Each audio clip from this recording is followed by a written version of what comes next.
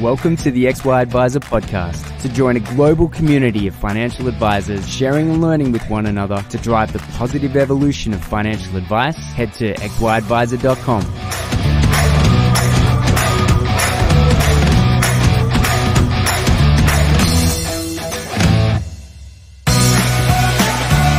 G'day, g'day. How's it going? Clayton here from XY Adviser with Michael Khouri. Um, Michael actually reached out and said, like, uh, I'd love to, if I could, share some with, you know, some stuff with advisors just around working from home. And you obviously had a really positive upbeat about, you know, the, the struggles that we're going through at the moment. So I thought you'd be a really good um, conversation to have and podcast to have. So thank you so much for finding the time.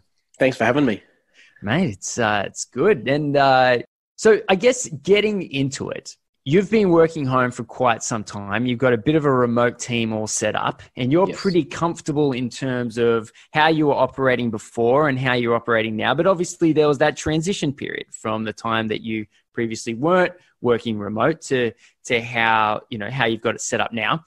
How long did it take you to become comfortable? I would say it took me a while to be quite honest with you. Um, I'm definitely, I'd say I'm 95% there at the moment. Um, as we've had, we've had an actual a physical office for the last four years, um, but even since having that office, I've sort of been trying to work from home where I can, just more for lifestyle balance and especially with the kids, and just to make it a bit easier that way as well.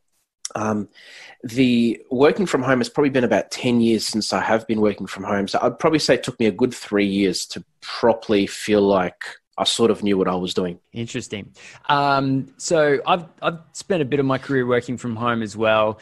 Um, it's definitely it's an interesting sort of headspace thing. Uh, I, I sort of was able to do it for six months, and that was every day for six months before I sort of just went a little bit, um, you know, stir crazy. Yeah. Um, but there's the you know the way that we've broken it down in terms of how we're putting this work from home tour on. So we've got communication, operations, and acquisitions. Um, let's start with sort of maybe at the top in terms of communicating with yourself, with your family. You know that sort of that internal in the house communication. How do you communicate with yourself and with your family to sort of come up with, I guess, uh, boundaries, but also you know stay stay in the game if that's how yeah. if that's how you consider it it's uh, that's probably the most important part of this whole thing to be quite honest with you because when the way i thought i've never been in a corporate environment full time ever i think to be honest with you um, but i just sort of pictured myself if i was in a corporate office around other people how i would act what time i'd have to be at the office etc when i would take my breaks and all the rest of it and i'd sort of the way i work is i sort of pretend i have a manager or i have somebody there telling me what to do, but really it's obviously myself. And the as far as a family's concerned, um, and this sort of would apply to somebody even if they didn't have a family, but it's the sort of to set guidelines and times, and sort of at the start of the day to work out, okay, today I'm going to work from this time to this time. I'll take a break at this time, and that's my day. And by doing that, I found, first of all, it sort of sets an expectation. If you do have a partner and children, it sort of sets that expectation so that they know when you're working and when you're not working.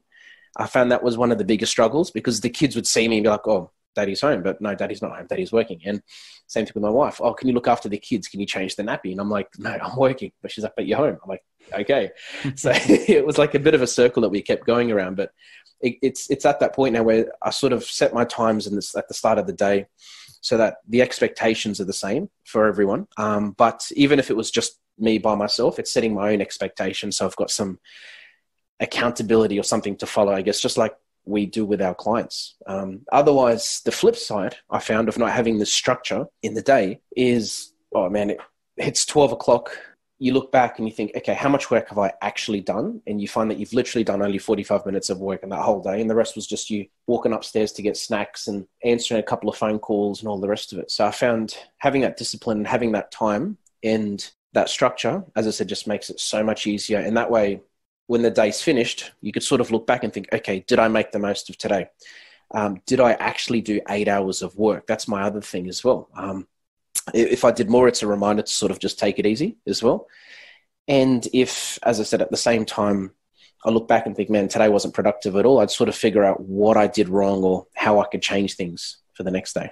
Interestingly, what were some of the main problems that you found you were having? Um, initially, you mean? Yeah. Um, I think it was that, getting distracted. Um, I found myself literally spending half my day doing nothing but checking emails. Um, I think in my first three months of being self-employed, I racked up about I don't know three years worth of CPD points for every single webinar that I was registering for. um, so because again there was no one there sort of on my back, but uh, when I sort of stepped back and get, looked at what I was doing and how productive I was being, um, I think that was yeah that, that was a massive eye opener. Um, the other thing as well was um, sort of knowing where to start, and for me having a to do list um, is a game changer. It is a massive game changer, and I know a lot of people have to do lists. Um, do you obviously? I'm guessing you use some sort of to do list system or app. Yeah, yeah. I, I just, I mean, I just write everything. I'm pretty old school. Oh, I just oh, write okay. on a in a in a notepad. okay, you would love this then. So I've got an app that I use. It's called Any.do.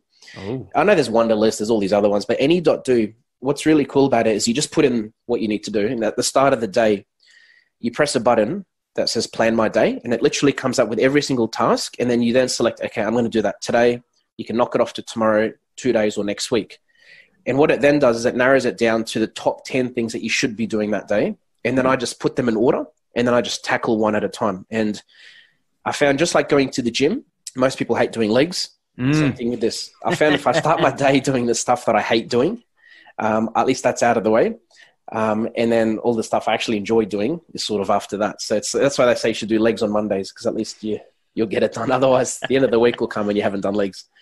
Man, that makes a lot of sense. Um, cool. That, that's some really good uh, pieces of advice. Staying on communication, um, let's talk to communicating externally. So with clients. Um, yes you're i mean everyone does phone calls everyone does emails um, everyone does uh, you know zoom calls or whatever these days. I think it's you know especially now that we're in this pandemic everyone's very rapidly moving to this. Um, are you using any other tools or is it just kind of you're trying to keep a bau or, or do you have anything sort of up your sleeve that you use not just with new clients and onboarding but also you know uh, ongoing older clients for me, definitely Zoom. Um, Zoom's worked out really well, especially sharing my screen. I found that works well when going through an SOA with a client, for example. They could see everything, and it's it's a lot easier that way. It's a, a bit more engaging, I should say. Um, up until the pen, this whole pandemic situation, um, which, by the way, I'm, I, I don't know about you, but I'm sick of talking about it. oh man, it's literally it's literally the first two minutes of every single phone call I've had for the last three months. Yeah, yeah, no, uh, hundred percent. Especially with parents, it's like uh, you know when pregnant women look at each other and just nod, and they both know what each other's going through. I think for parents, it's the same thing. We just look at each other, we're like, yeah, I feel yeah. your pain, man. I feel yeah. your pain. but anyway. because we didn't realize how much energy our kids had. Um, but um, so for me, before the whole pandemic thing, um, not too much, to be honest with you. Not, I was really doing it old school, um, printing SOAs and seeing the client and them signing everything on paper and seeing them face to face. I love face to face, and as since having the office about three, four years ago now, maybe um, that's been very handy because again, um, a big transition for me was working from home initially and struggling to justify paying X amount per month for an office. Yep. But I just did the maths and I worked out that I'm going to be a lot more efficient with my time, and it's worked because I've literally saved myself, on average, I'd say two hours a day of travel at least.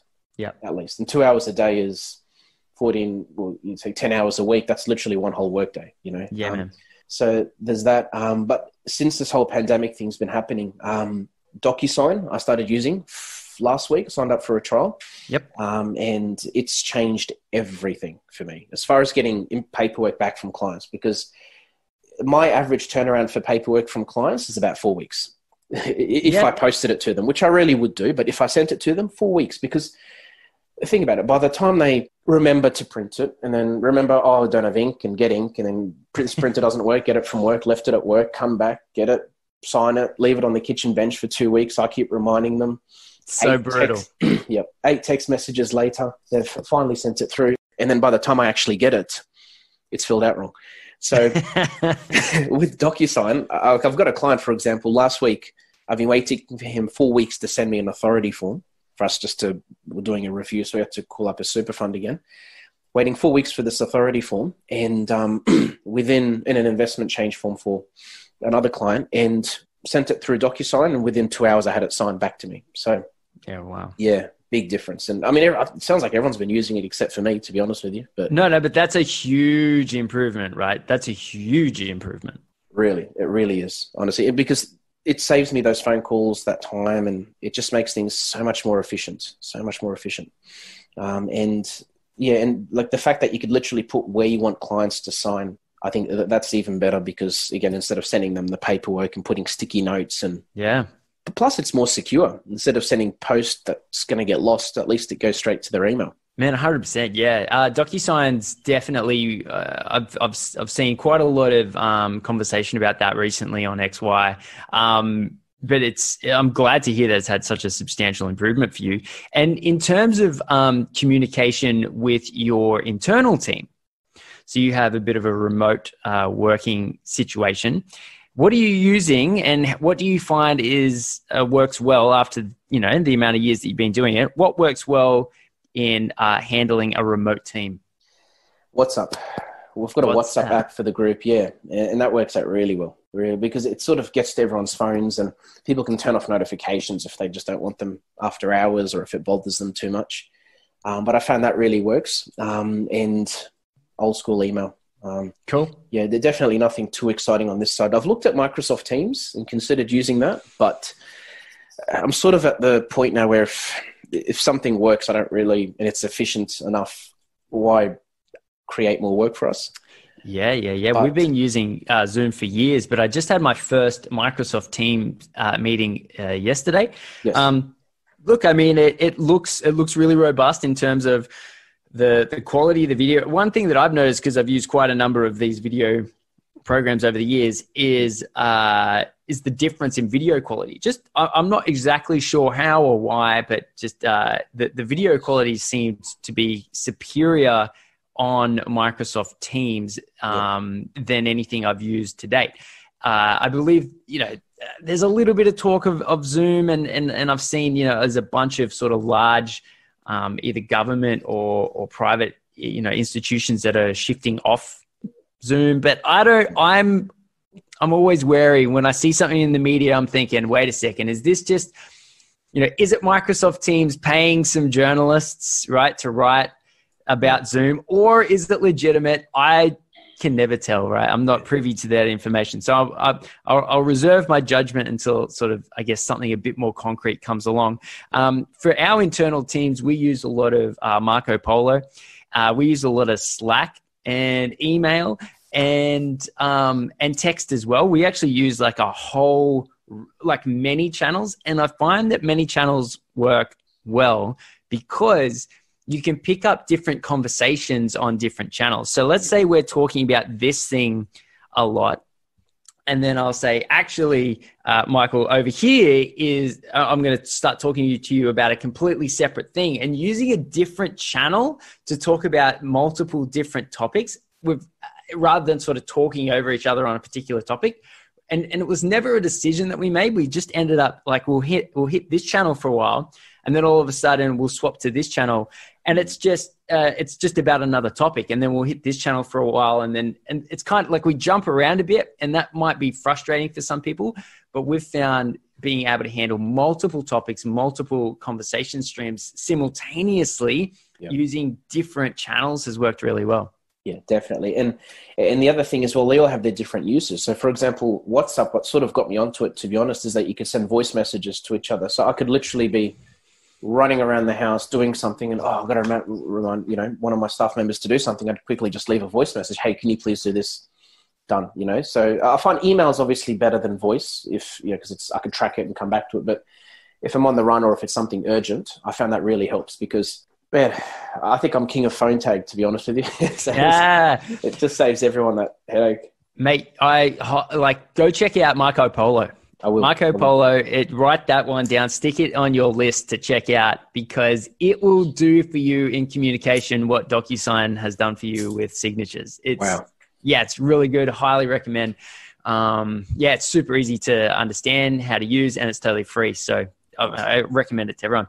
Um, cool. All right. Well, let's get into operations because um, communication is definitely important, but so is operations. So, like, what tools and tips and tricks are you using to be able to run your company, um, you know, remotely? Yeah, what's your CRM, for example? CRM wise, we part of our licensee, we've got our own CRM called Platform Plus through InFocus. That's right. Yeah, yeah, yes. yeah. And so, so we, in there, do you have sort of like a list of tasks that are automatically generated for each person, or uh, how do you handle sort of, you know, clients going through your pipeline?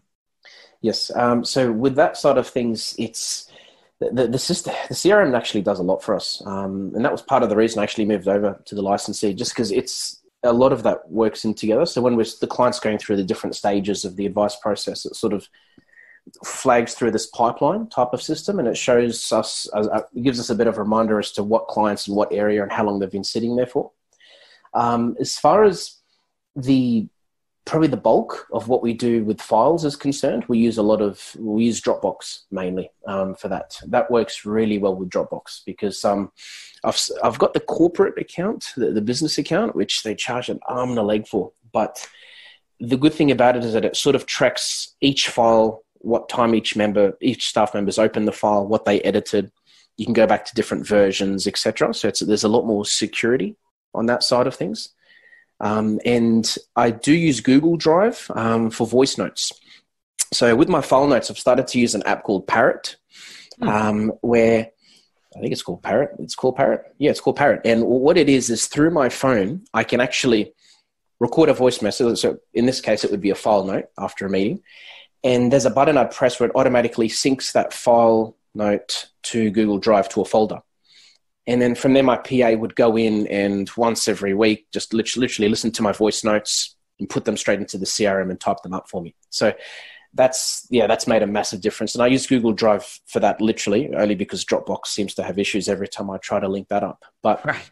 for us, it's yeah, Platform Plus, which I love, um, and it's made our life so much easier um, since using it. Um, Dropbox and yeah, Google Drive through Parrot. Interesting. Um, what what is it about Parrot? Is there anything like, for example, does it ask you questions? Can you can you bring up unique text uh, that you can answer during the file note, or is it just entirely off your head?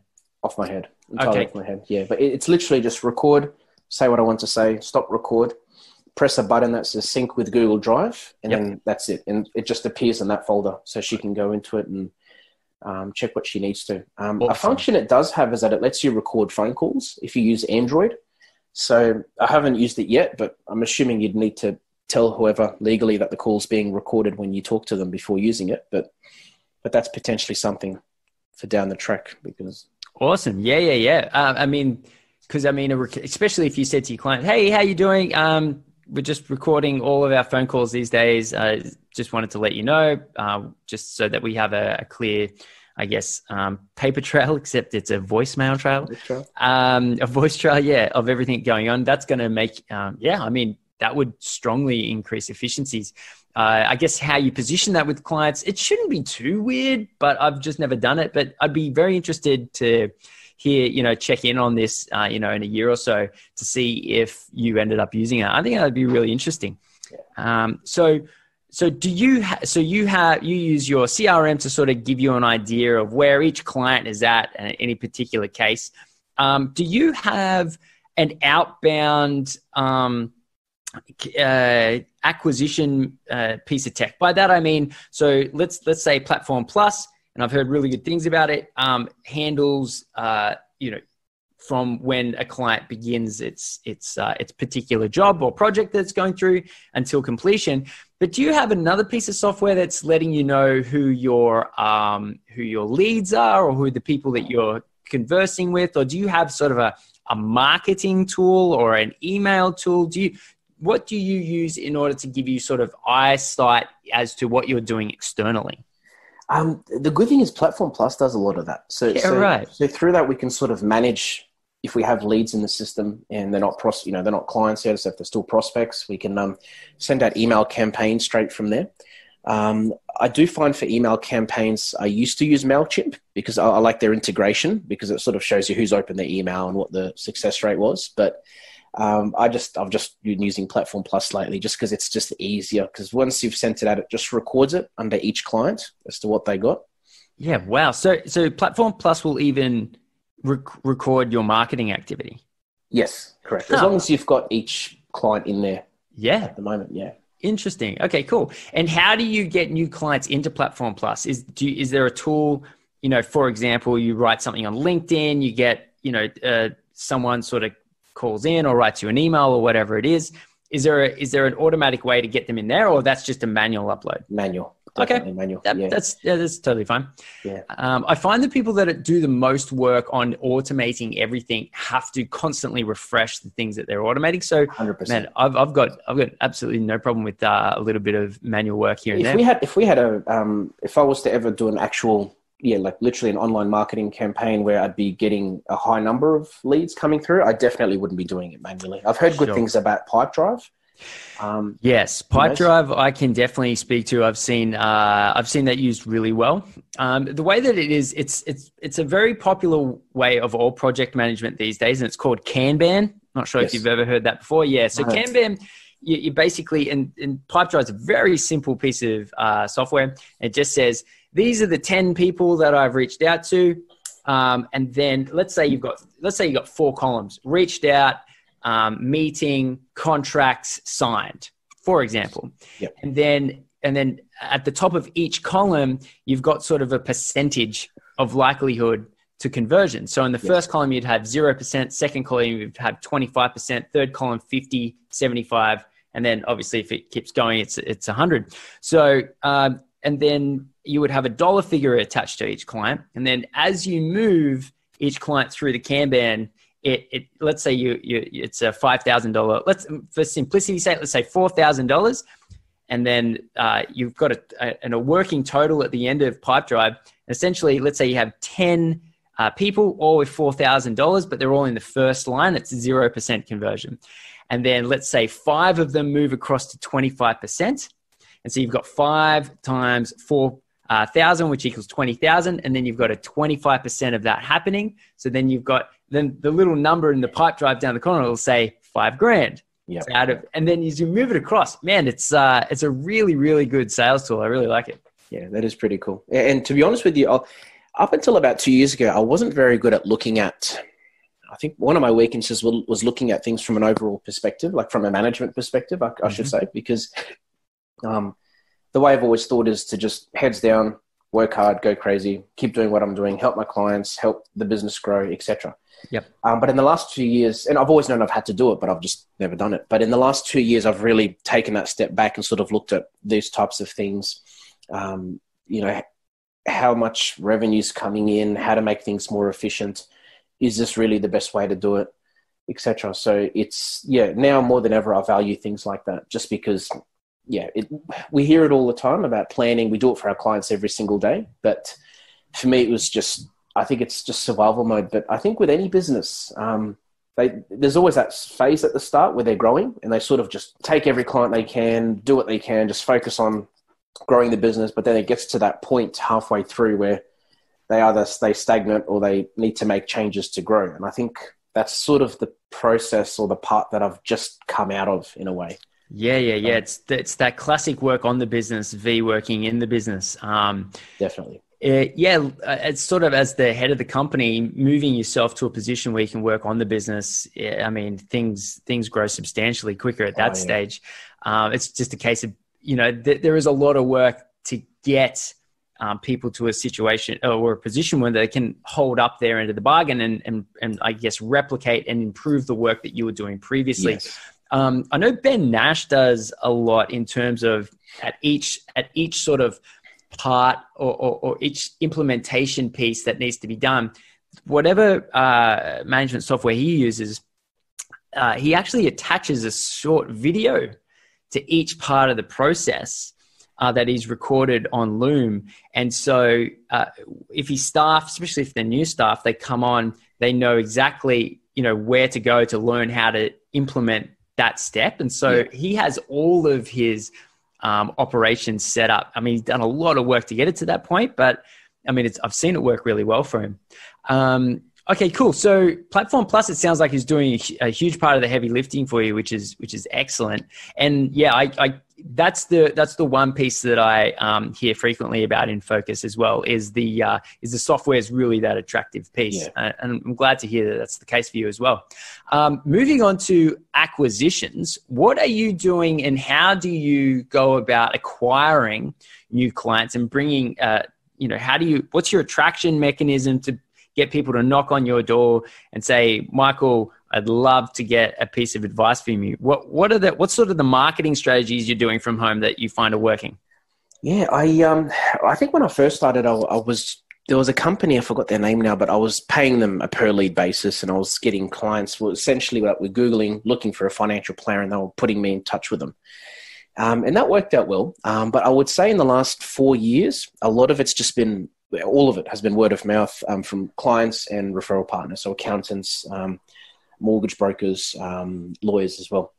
Um, for, for, me, I've found, and I, I, literally say this to my clients, even my referral partners, that you know the proof is in the pudding. Like if somebody trusts you, if they feel good about you, they just know that whoever they send to you is going to be in safe hands. And um, I guess what I tell all my referral partners, which is literally the truth, um, where anyone that comes to me, if I can't help them, I'll at least point them in the right direction. Um, and uh, that sort of that, that's worked out really well because that way the clients, the the people that come through to me, go back to their referral partners and sort of normally, well, as far as I'm concerned, every single time I've had good things to say about me, um, and that just gives them the confidence to send more through. And the biggest part for me with that side of things, I think, was um, education because what, when I first started again, literally self employed, my own business. I think I door knocked on, I think I spoke to about 100 potential referral partners in one year. Like that's literally how desperate I was to, uh, well, not desperate, that's that, how hungry I was to sort of grow everything. Um, and within, and after a year, I think there was only about three or four that were, you know, I had built really good relationships with, and they knew that I was helping their clients and vice versa. Um, and that, and I think in that, and what I learned from that is that the biggest part about it is education and also finding a referral partner that is on the same level as you. Because when I was starting off, an established accounting practice, for example, is very unlikely to refer to an advisor that's just started off his own business. Whereas an accountant that's at the same level or a mortgage broker or a lawyer is more likely to refer because they'll, A, they'll receive the same number of referrals back, most likely. Um, and secondly, we can sort of work together to help each other grow. And we're most likely a lot more like minded at that point as well. So the clients will enjoy it and appreciate it a bit more because they'll sort of see that we're singing the same song instead of talking to one person that's established and has a completely different mindset compared to another. That's a really good point. Yeah, that's a that's a. I like the your data points there as well. I think that's uh, one of the largest numbers I've ever heard. So you, you reached out to 100, three or four um, end up Literally working. 100, no joke. Like wow. every week, I was like, I'm going to contact four or five people. And the funny thing is, I think of those 100, probably 70 agreed to refer clients to me. Yes. Um, but only five of them actually did. So that's the other thing as well. Everybody will agree to, yeah, let's send clients to each other, but it's not that. It's just building that relationship and. That's um, awesome, man. That's really, real. That's, I mean, that's a huge insight. So, so not only is finding people that are at that same, uh, I guess, maybe not experience level, but certainly in in uh, in terms of how um, mature their business is. Yes.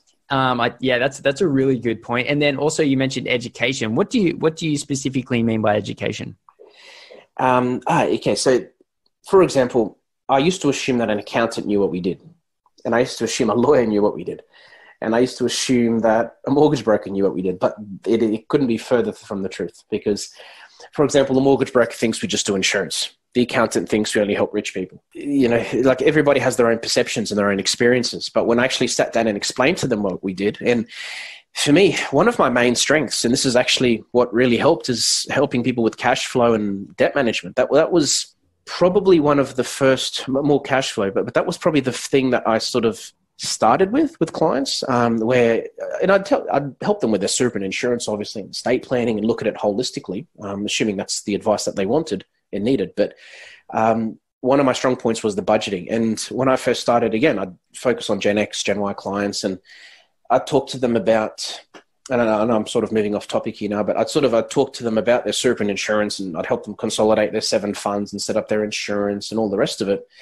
But the biggest thing they valued was managing money and helping them structure their accounts and all these just basic things that you think would be common sense. And they are common sense. I'd literally tell clients that this is common sense, but it's just having someone look at things from a, you know, an, an object, you know, from an outsider's point of view. And through my referral partners, again, educating them on that worked out really well because they sort of knew I did super and insurance, but they didn't know that I could help people manage their money. They didn't know that um, I could help them with their goals advice, you know, saving for a house or saving for this or whatever it may be. So I think that was a game changer because their perception was this. And when I told them what I could do and sort of how they could refer clients, that helped because my main thing was to make sure they don't refer for the sake of it um, or because they think they needed it, the client needed it, but more because if there's a need that they could identify in that client and to do it in a way that they're adding value, not in a way that they're just doing it as a transactional part of their business.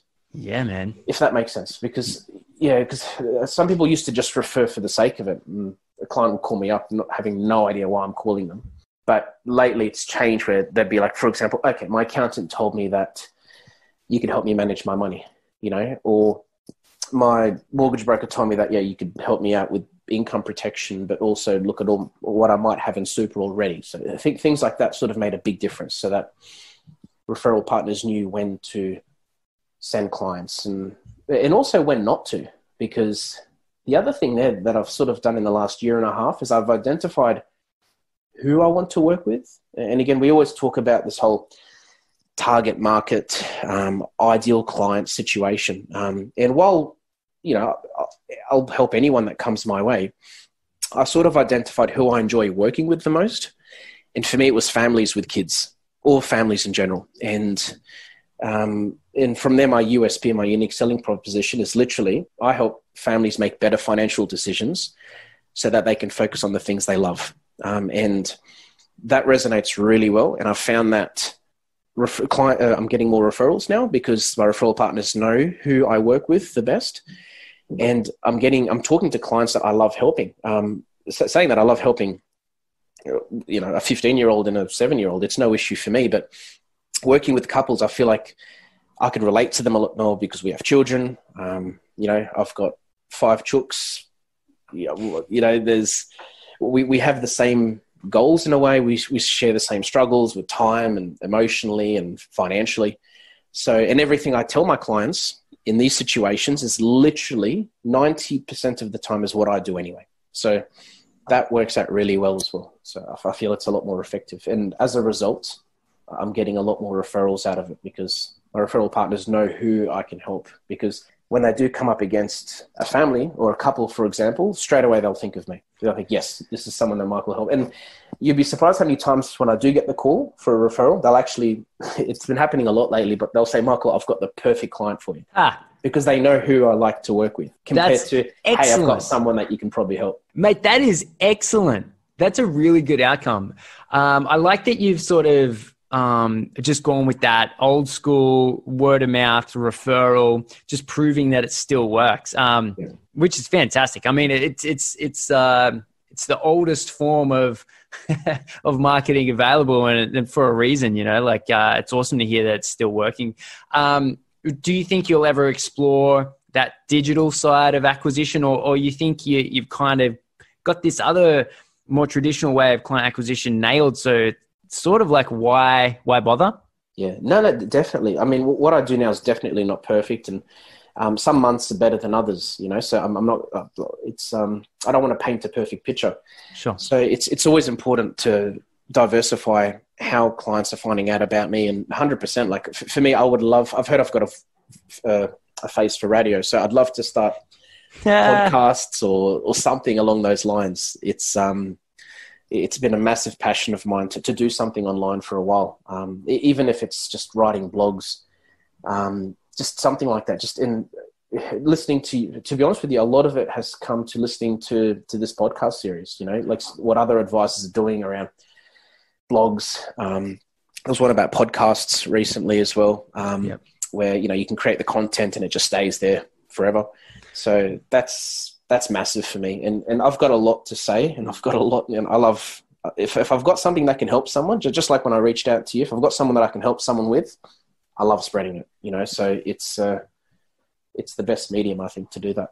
Mate, I yeah, highly recommend podcasts. Um, literally, Spotify uh, have put five hundred million dollars allocated towards building out their podcast streaming. Um, so they they obviously see it as a huge part of their future. Um, it is still just getting started.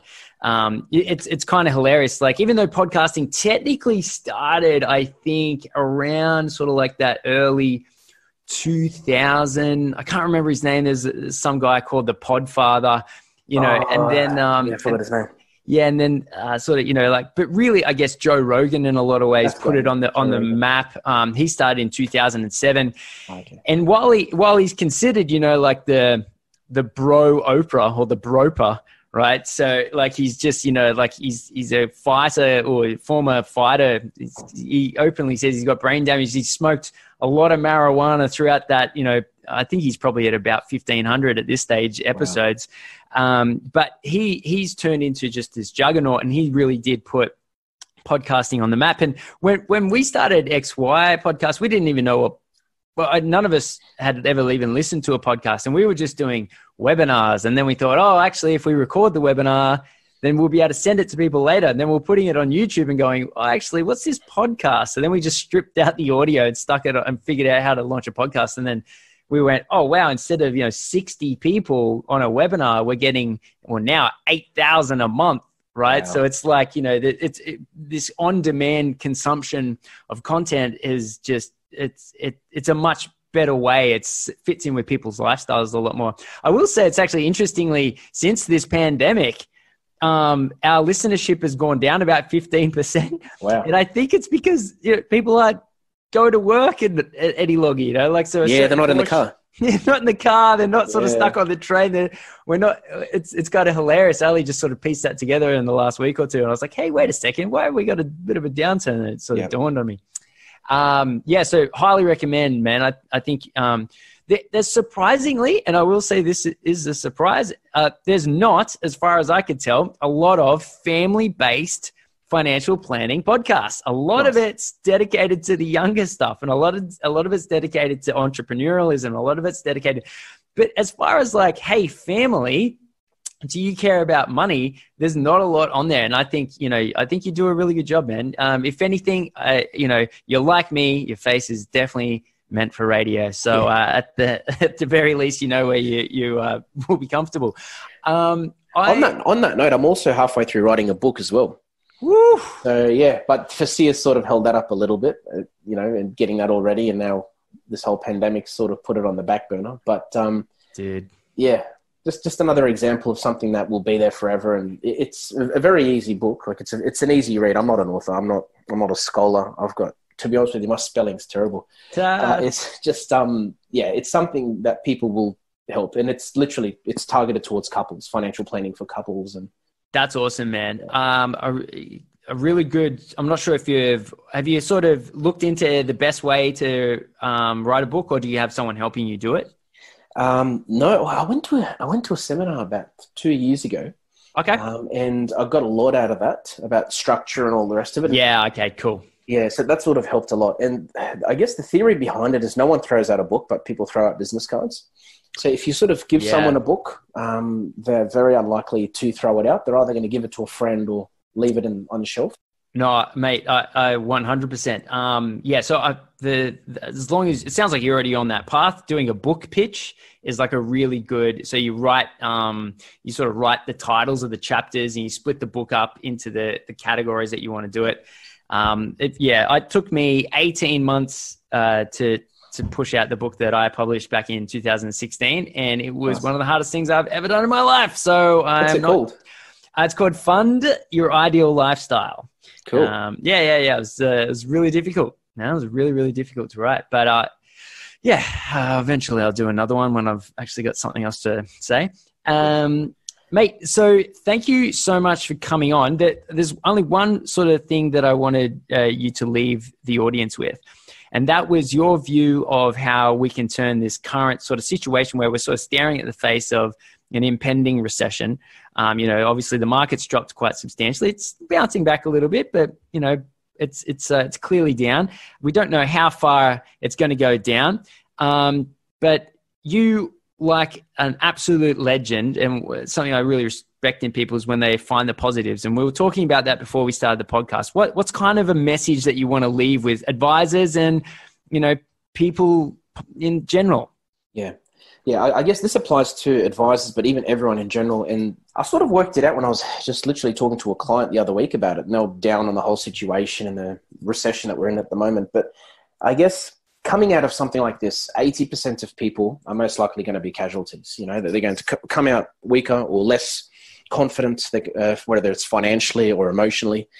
Uh, but there's that 20% that will actually make the most of it and grow and take advantage of opportunities. And I think if we could work towards being that 20%, um, this will prob- this whole pandemic could potentially be the best thing that's ever happened to us. So whether it's us as advisors, um, finding new ways to deal with clients, to contact clients. Um, you know, to uh, there's been no. I don't, I don't think financial advice in a long time has ever been at the top of minds, the top top of mind for for Australians, um, or help or sort of sorting out their finances. So I think now is there's an opportunity for us to help people and to communicate that with clients and sort of to show them what we can do. Um, and I think from a everyday person's perspective. Um, it's literally just again trying to take advantage of opportunities, and instead of feeling like they're, the, I know it's easier said than done, but instead of victimizing the situation, trying to use it as an opportunity. So, if someone that's lost their job, for example, that can't work, try to think of that business idea that they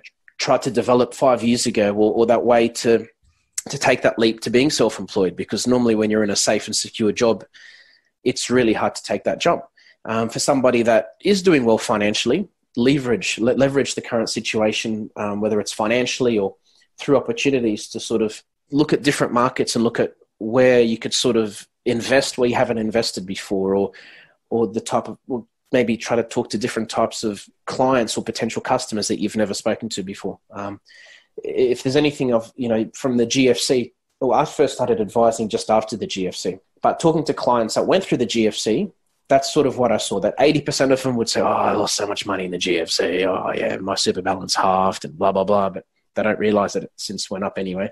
But still, um, but then you've got those 20% of clients where they tell me how much money they made during the GFC, where they invested into this area or they expanded the business or they went from, you know, in this, like, there's, a, there's a, I think there's a few success stories at the moment of different businesses that have gone from, being face to face to just doing deliveries. And some are actually making more money now doing deliveries and they've just adapted to, to the climate. So I, I, think that's the, the biggest thing I could leave there just to take advantage of the situation, not be one of the casualties, and just try to work out what you can do to make the most of the situation. Um, because I know for us, there's so much opportunity. Like it's finances, from my experience, when I speak to somebody that's maybe never had a financial advisor before, one of the first things they'll say is they just never got around to seeing a financial planner, even though they know they needed to get their money sorted or their super or whatever it may be. Um, and I think now being at the that now that this issue is at the top of people's minds, um, we can be there to help them and we can be there to sort of guide them through this process and hopefully make a massive, massive difference in the world. So, yeah, that's that's my thing. And uh, not saying that I'll do it perfectly, but I'm, I'm definitely trying my best. Awesome, man. No, it's really good. I mean, whenever people putting forward positive messages, huge fan. I think it's exactly what we need. And yeah, I mean, you're exactly right. Uh, XY itself, you know, we're, uh, we're, we're, we've received a little bit of a, an uptick in, um, in, you know, people coming on and looking at what we're doing. And, uh, we're, we're actually having, uh, because our revenue is you know as an advertising model we deal with sort of big brands and um, yeah we're actually people are looking more to us than ever before because nice. while everyone else has sort of had to cancel their events, you know, we're on the flip side, we've sort of launched a digital event series. So, um, yeah, in a lot of ways, this is going to work uh, well for us, and, and, and we're we're hopefully going to be in that twenty percent. And, and can I just say as well, something else I forgot to mention is um, being in isolation. I think has made us appreciate things that we've never appreciated before, and things that were a big deal aren't really a big deal anymore. For for example, six months ago if we didn't get that car that we wanted, or if we didn't get that, uh, if we didn't go to that restaurant that we really wanted to go to, or if we hadn't been out for two weeks, we'd get depressed or upset or frustrated, you know. Whereas it's funny now that being in isolation, we're starting to appreciate the small things where even just going out with some friends for a drink or even just, I don't know, even just going to a shopping center, um, you know, suddenly has become something that we're starting to miss. So I think again taking advantage of the situation is if we can sort of appreciate the smaller things, um, whether it's a family spending more time with their kids um, or couples spending more time with each other. That's assuming they're still married after this whole isolation thing. Um, but um, if people can take advantage of that, uh, sorry, appreciate that more, um, coming out of this whole pandemic, hopefully they could move forward with a different mindset as well. Because I think I think that's for us, it's been a massive game changer. Like we didn't realize how many fun things we could do in the backyard with the kids, whereas now we've discovered these things that we should be doing. So coming out of it, we're probably going to be spending more home time together. And couples that never saw each other because of work or because they put you know their jobs before anything else could now sort of appreciate each other a lot more as well so um, yeah and again that's sort of that stems back to what i said about coming out of this as that 20% not as that not as that 80% that's awesome um, for any advisor out there that wants to reach out and say hi um, what's the best way to get in contact with you yeah linkedin linkedin please just add cool. me on linkedin um, send me a message um, and yeah, more than happy to chat to anyone, more than happy to help anyone. Um, one last point I forgot to mention before is working from home to make sure that you've got a good environment around you. That was another big thing. For example, a lot of people will currently be doing work still in their kitchen because they don't have a home office, but setting something up where you can be away from everything is massive. Like uh, uh, it just comes to mind now because I've got a desk called it's like a stand one of those stand up desks. Yeah. So I'm using that at the moment, and that's that's made a massive difference. Just being able to stand up and have that environment at home. So, but you're happy to touch base with anyone, help anyone out, um, especially those that are going through any types of struggles. Hopefully, I can assist. I definitely I definitely don't know everything, and I'm not perfect, but um, if I can help, I'm always there to do it. Awesome, Michael. Thank you so much for uh, giving me your time today, mate. Pleasure. Thank you so much. Cheers.